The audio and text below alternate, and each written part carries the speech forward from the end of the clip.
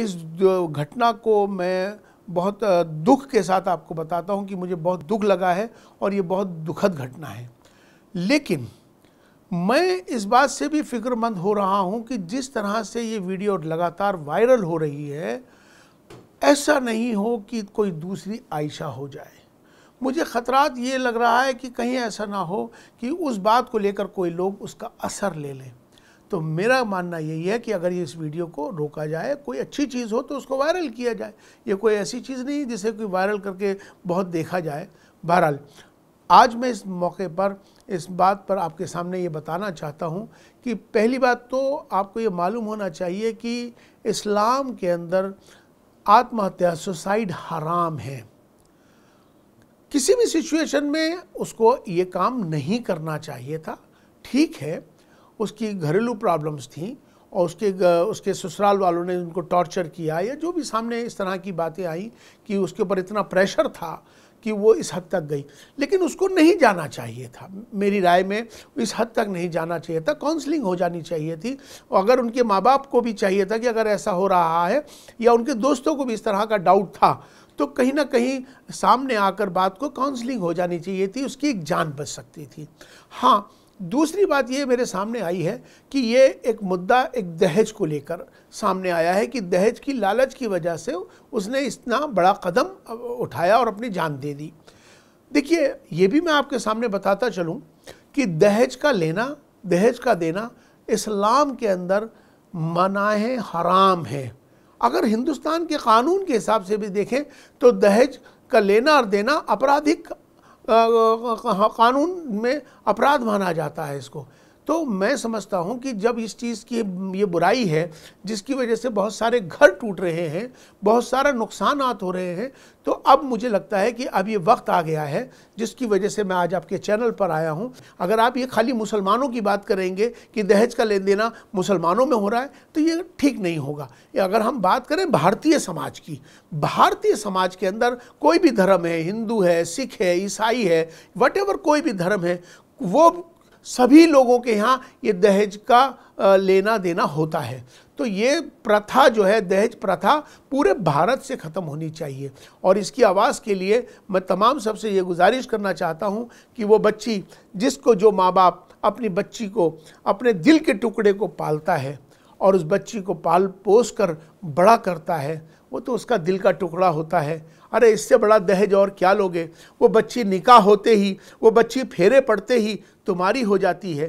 तुम्हारे माँ बाप को छोड़कर आती है, अपने दोस्तों को छोड़कर आती है, अपने बहन भाइयों को छोड़कर आती है, अपने घर को छोड़कर आती है और आपकी हो जाती है सिर्फ़ निकाह और फेरे पड़ते ही।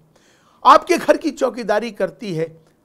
आपको खिला के खुद खाती है, आपको सुला के खुद सोती है, आपकी घर की चौकीदारी करती है, आपके बच्चों का पालन पोषण करती है, आपसे आपके तमाम सारे दुख और सुख में खड़ी रहती है।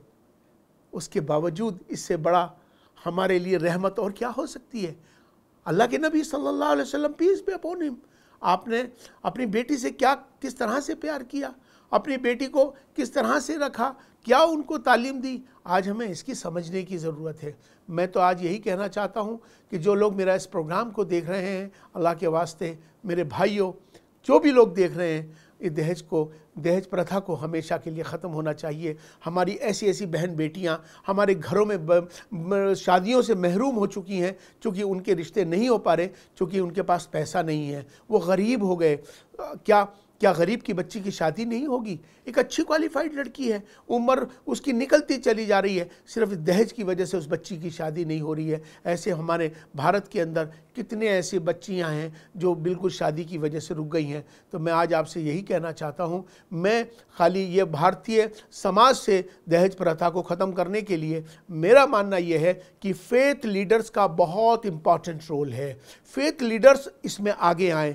मंदिरों से, मस्जिदों से गुरुद्वारों से, यहाँ तक कि चर्चों से, मठों से, तमाम सबसर हमारे ग्रंथी, हमारे पादरी, हमारे इमाम्स अपने फ्राइडे सरमंस में या संडे के दिन जब भी उनका, जब भी वो बयान करते हैं, अपने लोगों को ये ज़रूर कहें कि दहेज का लेना, देना, इसे पाबंदी लगाएँ।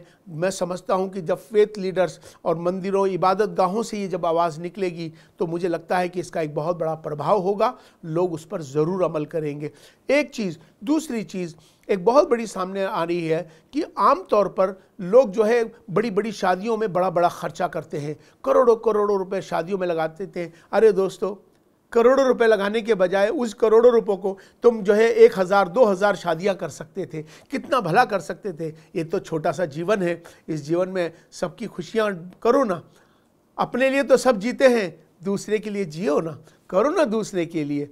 आज असल इसी चीज़ की ज़रूरत है। हम सबको मिलकर चाहिए कि हम सब ऐसी बुराइयाँ, और भी कोई भी बुराइयाँ अगर समाज से हों तो हमें उस पर ख़त्म करना चाहिए। और आज मैं अपने तमाम जो इस प्रोग्राम को देख रहे हैं, मैं उन सबसे बस यही गुजारिश करना चाहता हूँ कि आगे से किसी तरह से कोई आत्महत्या ना करे। आपको लगे तो उसकी काउंसलिंग होनी चाहिए, और और किसी तरह से दहेज हो या कोई भी ऐसा हो, मियाँ बीबी के रिश्ते उनमें खटास नहीं होनी चाहिए। वो तो प्यार का रिश्ता है, मोहब्बत का रिश्ता है। मैं समझता हूँ कि प्यार, मोहब्बत बना रहे, हमें इसी को आगे लेके चलना है। तो मैं समझता हूँ कि इससे बड़ा प्यार, मोहब्बत, इससे बड़ा दहेज, इससे बड़ा कोई काम, इससे कोई बड़ी इबादत कोई और नहीं हो सकती। फेथ लीडर्स का बड़ा इंपॉर्टेंट रोल है। फेथ लीडर्स पे लोगों को भरोसा है। अगर वो लोग इस कदम के लिए, इस काम के लिए अगर आगे आएँगे तो मुझे लगता है कि एक बदलाव ज़रूर आएगा। जहाँ तक बात ये है कि आज सरकार जो अपना काम करती है करती है। कानून अपना काम करता है करता है। लेकिन मैं हम अपनी ज़िम्मेदारी अगर निभाएँगे तो इसका एक बड़ा, बहुत बड़ा फ़ायदा पहुंचेगा। जहाँ तक इमाम ऑर्गेनाइजेशन की बात है तो भारत के अंदर साढ़े पाँच लाख मस्जिदें हैं। कल जुमे का दिन था। कल इस बात के लिए हमारे यहाँ पर बाबा हमने कल इस पर ख़िताब किया है और एक बड़ा ऐलान भी किया है। हमने तमाम हिंदुस्तान के तमाम सेंट्रल दारुल कज़ा को ये ऐलान कर दिया है। तमाम भारत के इमामों को, तमाम भारत के काजियों को, तमाम मुफ्तियों को हमने ये बात कल स्ट्रांगली कह दी है कि जहाँ पर किसी तरह का दहेज का मामला सामने आए या इस तरह से कोई दिखावे की शादी हो तो वो लोग निकाह ना पढ़ाएँ। उसके लिए हमने कल बहुत बड़ा फैसला लिया है।